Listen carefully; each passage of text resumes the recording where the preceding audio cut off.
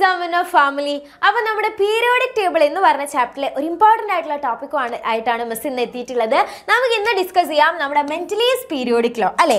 ആരാണ് നമ്മുടെ father of periodic table എന്ന് പറയുന്നത്? നമുക്കറിയാം ഫാദർ ഓഫ് പീരിയോഡിക് ടേബിൾ എന്ന് പറയുന്നത് മെന്റലീവ് ആണ്. സോ ഈ ഒരു ടോപ്പിക് എന്ന് പറയുന്നത് വളരെ ഇമ്പോർട്ടന്റ് ആണ്. ഇദ്ദേഹത്തിന്റെ മെറിറ്റ്സ് ആൻഡ് ഡിമെറിറ്റ്സ് നമുക്ക് പഠിക്കാനുണ്ട്. ഇദ്ദേഹത്തിന്റെ പീരിയോഡിക് ലോ ആൻഡ് അതിന്റെ മെറിറ്റ്സ് അതിന്റെ ഡിമെറിറ്റ്സ് നമുക്ക് പഠിക്കാനുണ്ട്.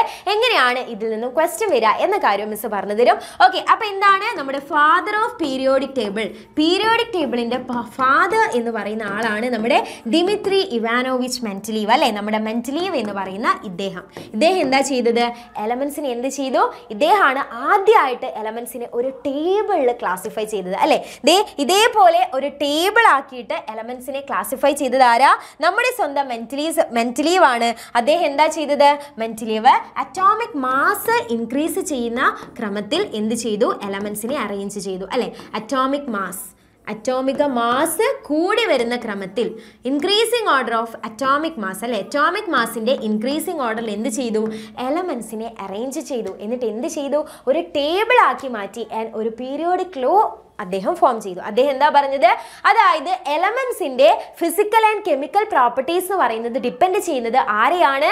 അറ്റോമിക് മാസിനെയാണ് ആറ്റോമിക മാസിനെയാണ് ഈ ആറ്റോമിക മാസിന്റെ റിപ്പീറ്റേഷൻ ആണ് അല്ലെങ്കിൽ ക്രമാവർത്തനമാണ് എന്നാണ് ആര് പറഞ്ഞത്? നമ്മുടെ സ്വന്തം മെന്റലീവ് പറഞ്ഞത്. സോ ഇത് എന്തറിയപ്പെടുന്നു? മെന്റലി പീരിയോഡിക് ലോ എന്നറിയപ്പെടുന്നു. അപ്പൊ എന്താണ് Mendeleev periodic law the physical and chemical properties of elements are periodic functions of their atomic mass അല്ലേ? അതായത് മൂലകങ്ങളുടെ രാസഗുണങ്ങളും ഭൗതിക ഗുണങ്ങളും അവരുടെ അറ്റോമിക മാസിന്റെ ആവർത്തന ഫലങ്ങളാണ് എന്നാണ് ആര് പറഞ്ഞത്? നമ്മുടെ സ്വന്തം മെന്റലീവ് പറഞ്ഞത്. അതായത് നമ്മുടെ എലമെന്റ്സിനെ എന്ത് ചെയ്തു അദ്ദേഹം? ഇതേപോലെ ഒരു ടേബിൾ ആക്കിയിട്ട് അറേഞ്ച് ചെയ്തു. ഇതിൽ നിങ്ങൾ കുറേ വേർട്ടിക്കൽ കോളംസ് കാണുന്നില്ലേ? ഇതിൽ വേർട്ടിക്കൽ കോളംസ് ഉണ്ട്. അതേപോലെ തന്നെ എന്തുണ്ട്? ഹൊറിസോണ്ടൽ റോസും ഉണ്ട് അല്ലേ? കുത്തനെയുള്ള കോളങ്ങളും ഹൊറിസോണ്ടൽ റോസും ഉണ്ട്. അപ്പോൾ ഈ ഒരു വേർട്ടിക്കൽ കോളംസിനെ എന്ത് വിളിച്ചു? വേർട്ടിക്കൽ കോളംസിനെ ഗ്രൂപ്പ് എന്നും വിളിച്ചു. ആൻഡ് ഈ ഹൊറിസോണ്ടൽ റോസിനെ പീരീഡ് എന്നും വിളിച്ചു. ആൻഡ് നമ്മുടെ മെന്റലീന്റെ പീരിയോഡിക് ടേബിളിൽ എട്ട് ഗ്രൂപ്പുകളും ആറ് പീരീഡുകളുമാണ് ഉണ്ടായിരുന്നത്. നോക്കിക്കേ. എത്രയാണ്? ഒന്ന് രണ്ട് മൂന്ന് നാല് അഞ്ച് ആറ് ഏഴ് എട്ട്. എട്ട് ഗ്രൂപ്പുകളും one one two three four five six എന്ന് പറഞ്ഞിട്ട് സിക്സ് പീരീഡ്സും അതേപോലെ തന്നെ എയ്റ്റ് ഗ്രൂപ്പ്സുമാണ് എവിടെ ഉണ്ടായിരുന്നത്. നമ്മുടെ സ്വന്തം മെന്റലീന്റെ പീരിയോഡിക് ടേബിൾ ഉണ്ടായിരുന്നത്. അപ്പോൾ ആദ്യമായിട്ട് എലമെൻസിന് ഇങ്ങനെ ഒരു ടേബിൾ ആക്കിയിട്ട് അറേഞ്ച് ചെയ്ത് വന്നത് ആരാണ്? നമ്മുടെ മെന്റലീവാണ് അപ്പോൾ ഒരേ ഗ്രൂപ്പിൽ വരുന്ന ആളുകളൊക്കെ സിമിലർ പ്രോപ്പർട്ടി കാണിക്കുന്നുണ്ടെന്നൊക്കെ ആര് പറഞ്ഞു? നമ്മുടെ സ്വന്തം മെന്റലീവ് പറഞ്ഞു. ഓക്കെ അപ്പോൾ ഈ ഒരു മെന്റലീന്റെ പീരിയോഡിക് ടേബിളിന് എന്തുണ്ട്? ആ കുറേ മെറിറ്റ്സ് ഉണ്ട്. അല്ലേ? കുറേ മെറിറ്റ്സ് ഉണ്ട്. കുറേ കുറേ പോസിറ്റീവ് സൈഡ്സ് ഉണ്ട്. അപ്പോൾ അതാണ് അടുത്തതായിട്ട് നമ്മൾ നോക്കാൻ വേണ്ടി പോകുന്നത്. എന്തൊക്കെയാണ് മെറിറ്റ്സ് അല്ലേ? മെന്റലി പീരിയോഡിക് ടേബിളിന്റെ മെറിറ്റ്സ് എന്തൊക്കെയാണ്? എന്തൊക്കെയാ?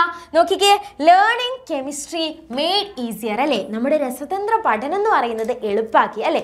എലമെൻസിന് ഇങ്ങനെ അവിടെ ഇവിടെ ഒന്നും ഇടാതെ ഇങ്ങനെ കറക്റ്റായിട്ട് ഒരു ടേബിൾ അറേഞ്ച് ചെയ്തു. സോ നമുക്ക് എലമെൻസിനെ പെട്ടെന്ന് എന്ത് ചെയ്യാൻ പറ്റി? എലമെൻസിന്റെ പ്രോപ്പർട്ടീസ് ഒക്കെ നമുക്ക് പഠിക്കാൻ പറ്റി അല്ലേ? ഒരേ ഗ്രൂപ്പിലുള്ളവർക്ക് ഒരേ പ്രോപ്പർട്ടി ആണെങ്കിൽ നമുക്ക് എന്ത് ചെയ്യാൻ പറ്റി? എല്ലാറ്റിനും കൂടെ കോമൺ ആയിട്ട് പഠിച്ചാൽ പോരെ. അപ്പോൾ നമുക്ക് എന്ത് ചെയ്യാൻ പറ്റി? ഈസി ആയിട്ട് കെമിസ്ട്രി നമുക്ക് പഠിക്കാൻ പറ്റി. കറക്ഷൻ ഓഫ് അറ്റോമിക് മാസ് എന്ത് ചെയ്തു? നമ്മുടെ നമ്മുടെ സ്വന്തം മെന്റലി എന്ത് ചെയ്തു? ചില എലമെൻസിന്റെ അറ്റോമിക് മാസ് ഒക്കെ കറക്റ്റ് ചെയ്തു ഓക്കെ അന്ന് കണ്ടുപിടിച്ചിരുന്ന ചില എലമെൻസിന്റെ അറ്റോമിക് മാസ് ഒക്കെ അദ്ദേഹം എന്ത് ചെയ്തു? കറക്റ്റ് ചെയ്തു. അതായത് ബെർലിയത്തിന്റെ അറ്റോമിക് മാസ് ഒക്കെ അദ്ദേഹം എന്ത് ചെയ്തു? കറക്റ്റ് ചെയ്ത് ശരിയാക്കിയിട്ട് പറഞ്ഞു. ഓക്കെ പിന്നെ എന്താ? പ്രഡിക്ഷൻ ഓഫ് ന്യൂ എലമെൻസ് ഇനി കണ്ടുപിടിക്കാനുള്ള എലമെൻസിന് എന്ത് ചെയ്തു? സ്വഭാവം പ്രസ്താവിക്കുകയും ഇനി നിങ്ങൾ കണ്ടോ ഇവിടെ കുറച്ച് വാക്കന്റ് ആയിട്ടുള്ള ആൾ കണ്ടില്ലേ? അലൂമിനിയത്തിന്റെ താഴെയും സിലിക്കന്റെ താഴെയും ഒക്കെ ഒരു വാക്കന്റ് ആയിട്ടുള്ള ആൾ കണ്ടില്ലേ? വാക്കന്റ് ആയിട്ടുള്ള സ്പേസ് കണ്ടില്ലേ? അപ്പോൾ ഇത് അന്ന് മെന്റലീവ് വാക്കന്റ് ആയിട്ട് പറഞ്ഞതാ. എന്ത്? ഇനി അവിടെ കണ്ടുപിടിക്കാനുണ്ട് അല്ലേ? കണ്ടുപിടിക്കാനുള്ള എലമെന്റ്സിനെ പ്രെഡിക്റ്റ് ചെയ്തു. എലമെന്റ്സിന്റെ സ്വഭാവങ്ങളും പ്രെഡിക്റ്റ് ചെയ്തു. ഓക്കെ അവർക്ക് വേണ്ടി സ്പേസ് ഒഴിച്ചിട്ടു സ്ഥലം ഒഴിച്ചിട്ടു ആ ഒരു എലമെന്റ്സിന്റെ സ്വഭാവം ആര് പ്രെഡിക്റ്റ് ചെയ്തു? നമ്മുടെ സ്വന്തം മെന്റലി പ്രെഡിക്റ്റ് ചെയ്തു. അപ്പോൾ ഇത്രയും കാര്യങ്ങളാണ് നമ്മുടെ മെന്റലി പീരിയോഡിക് ടേബിളിന്റെ എന്ത്? മെറിറ്റ്സ് എന്ന് പറയുന്നത്. എന്തൊക്കെയാണ്? Correction of atomic mass atomic mass correct ചെയ്തു ബെർലിയത്തിന്റെ. പിന്നെ എന്താ? മെയിൻ കെമിസ്ട്രി ഈസിയർ അല്ലേ? അതായത് കെമിസ്ട്രി ആ ഒരു സ്റ്റഡി ഓഫ് കെമിസ്ട്രി എന്ന് പറയുന്ന രസതന്ത്ര പഠനം എന്ത് ചെയ്തു? എളുപ്പമാക്കി മാറ്റി. ഇനിയോ പ്രഡിക്ഷൻ ഓഫ് ന്യൂ എലമെന്റ്സ് പുതിയ എലമെന്റ്സിനൊക്കെ ആര് പ്രഡിക്റ്റ് ചെയ്തു? നമ്മുടെ സ്വന്തം മെന്റലീവ് പ്രഡിക്റ്റ് ചെയ്തു. അവർക്ക് വേണ്ടി വാക്കൻ സ്പേസ് എന്ത് ചെയ്തു?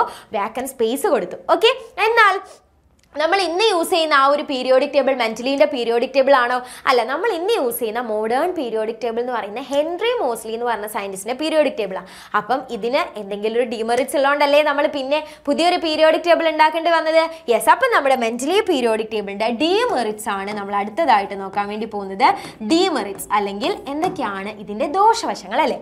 Elements with different properties included in same groups നമ്മൾ പറഞ്ഞു ഒരേ സ്വഭാവമുള്ള ആളുകളെയാണ് ഒരേ ഗ്രൂപ്പിൽ ഉൾപ്പെടുത്തിയെന്ന് പറഞ്ഞു. പക്ഷേ ഇവിടെ വ്യത്യസ്ത സ്വഭാവമുള്ള ആളുകളെയും മെന്റലി എന്ത് ചെയ്തു? ഒരു ഗ്രൂപ്പിൽ ഉൾപ്പെടുത്തി. അതായത് നമ്മുടെ ഹാർഡ് മെറ്റൽസും സോഫ്റ്റ് മെറ്റൽസും എന്ത് ചെയ്തു? ഒരേ ഗ്രൂപ്പിൽ ഉൾപ്പെടുത്തി. ഹാർഡ് മെറ്റൽസും അതേപോലെ തന്നെ സോഫ്റ്റ് മെറ്റൽസും ഇല്ലേ? ഏതാ സോഫ്റ്റ് മെറ്റൽസ് അല്ലെങ്കിൽ മൃദുലോഹങ്ങൾ എന്നറിയോ? എൽ പി സ്കൂളിൽ നിന്ന് പഠിച്ചാൽ മതി കേട്ടോ L P S lithium potassium sodium എന്നിവയൊക്കെ എന്താ? സോഫ്റ്റ് മെറ്റൽസ് ആണ് അപ്പൊ നിങ്ങൾ ഒന്ന് നോക്കിക്കേ. സോഫ്റ്റ് മെറ്റൽസ് ആയ ലിഥിയം സോഡിയം പൊട്ടാസ്യത്തിന്റെ കൂടെയാണ് റുബീഡിയം അതേപോലെ സീഷിയൊക്കെ ആഡ് ചെയ്തത് അല്ലേ? അപ്പൊ വ്യത്യസ്ത സ്വഭാവം കാണിക്കുന്ന ഒരാളെ എന്ത് ചെയ്തു? ഒരേ ഗ്രൂപ്പിൽ ഉൾപ്പെടുത്തി. പിന്നെയോ no proper position for hydrogen ഹൈഡ്രജന് പ്രത്യേക സ്ഥാനം കിട്ടിയില്ല. പണ്ട് മുതലേ ഹൈഡ്രജൻ ഒരു തലവേദനയായിരുന്നു. മെന്റലീവിനും ഫുൾ കൺഫ്യൂഷൻ അടിച്ചിരുന്നു. ഹൈഡ്രജൻ എന്ത് ചെയ്യാൻ പറ്റിയില്ല? പ്രോപ്പർ ആയിട്ടുള്ള പൊസിഷൻ അദ്ദേഹത്തിന് നൽകാൻ പറ്റിയില്ല. The increasing order of atomic mass is not always followed അല്ലേ? നമ്മൾ പറഞ്ഞു അറ്റോമിക് മാസിന്റെ ഇൻക്രീസിംഗ് ഓർഡറിലാണ് അറേഞ്ച് ചെയ്തതെന്ന് നമ്മൾ പറഞ്ഞു. പക്ഷേ എല്ലാ സമയത്തും ഇത് ഫോളോ ചെയ്യാൻ പറ്റിയോ? ഇല്ല. അപ്പൊ മക്കളെ നിങ്ങൾ നോക്കിയേ. ഇവിടെ നമ്മുടെ എവിടെ എവിടെ? ആ നമ്മുടെ ടെലൂറിയം ആൻഡ് അയഡിൻ നിങ്ങൾ നോക്കിക്കേ. ടെലൂറിയത്തിന്റെ അറ്റോമിക് മാസ് എന്ന് പറയുന്നത് നൂറ്റി ഇരുപത്തി ഏഴാ പക്ഷെ നമ്മുടെ ഐഡിന്റെ അറ്റോമിക് മാസ് നൂറ്റി ഇരുപത്തി ആറാ അപ്പൊ ഏതാ വലുത്? നൂറ്റി ഇരുപത്തി ഏഴ് നൂറ്റി ഇരുപത്തി ആറ് കഴിഞ്ഞിട്ടല്ലേ നൂറ്റി ഇരുപത്തി ഏഴ് വേണ്ടേ? അപ്പൊ ഇങ്ങനെ എല്ലാ സ്ഥലത്തും എന്ത് ചെയ്യാൻ വേണ്ടി പറ്റിയില്ല? അദ്ദേഹത്തിന് അറ്റോമിക് മാസ് കറക്റ്റ് ആയിട്ട് ഫോളോ ചെയ്യാൻ വേണ്ടിയിട്ട് ആർക്ക് പറ്റിയില്ല? നമ്മുടെ സ്വന്തം നമ്മുടെ സ്വന്തം ആർക്ക് പറ്റിയില്ല? ആ നമ്മുടെ ഏർ, മെന്റ് മെന്റലീവിന് പറ്റിയില്ല. ഓക്കെ അല്ലേ? അപ്പൊ ഇത്രയാണ് അദ്ദേഹത്തിന്റെ ഡി മെറിറ്റ്സ് എന്ന് പറയുന്നത്. അപ്പോൾ എന്തൊക്കെയാ മെറിറ്റ്സ് ഈസി ആയിട്ട് കെമിസ്ട്രി പഠിക്കാൻ വേണ്ടി പറ്റി. അറ്റോമിക് മാസ് ഒക്കെ കറക്റ്റ് ചെയ്തു. ബെർലിയത്തിന്റെ അറ്റോമിക് മാസ് ഒക്കെ കറക്റ്റ് ചെയ്തു. പിന്നെ എന്താ? ന്യൂ എലമെന്റ്സിനെ പ്രെഡിക്റ്റ് ചെയ്തു അല്ലേ? പുതിയ എലമെന്റ്സിന്റെ അറ്റോമിക് ഒക്കെ പ്രെഡിക്റ്റ് ചെയ്തു അല്ലേ? സോറി പുതിയ എലമെന്റ്സിന് പുതിയ എലമെന്റ്സ് കണ്ടുപിടിക്കാനാണെന്ന് പ്രെഡിക്റ്റ് ചെയ്തു. അവർക്ക് വേണ്ടിയിട്ട് വാക്കന്റ് ആയിട്ടുള്ള സ്പേസ് കൊടുത്തു അല്ലേ? എന്നാൽ ഡിമെറിറ്റ്സ് എന്തൊക്കെയാ? വ്യത്യസ്ത ഡിഫറെന്റ് പ്രോപ്പർട്ടീസ് കാണിക്കുന്ന ആളെയും ഒരേ ഗ്രൂപ്പിൽ കൊണ്ടിട്ടു അല്ലേ? പിന്നെയോ എല്ലാ സ്ഥലത്തും ഈ ഒരു അറ്റോമിക് മാസിന് ഇൻക്രീസിങ് ഓർഡർ ഫോളോ ചെയ്യാൻ വേണ്ടിയിട്ട് മാർക്ക് പറ്റിയില്ല മെന്റലിന് പറ്റിയില്ല ഹൈഡ്രജന് കറക്റ്റ് ആയിട്ടുള്ള ഒരു പൊസിഷൻ കൊടുക്കാനും പറ്റിയില്ല. ഓക്കെ അപ്പോൾ ഈ ഒരു ടോപ്പിക്കിൽ നിന്ന് വരുന്ന ക്വസ്റ്റ്യൻ നോക്കാം. അപ്പോൾ ഇത്രയും കാര്യങ്ങൾ ഇമ്പോർട്ടന്റ് ആയിട്ട് നിങ്ങൾ പഠിക്കേണ്ടതാണ്. Mendeleev periodic law merits and demerits ഈ കാര്യങ്ങൾ മാത്രം പഠിച്ചാൽ മതി. അപ്പോൾ ക്വസ്റ്റ്യൻ നോക്കിയേ.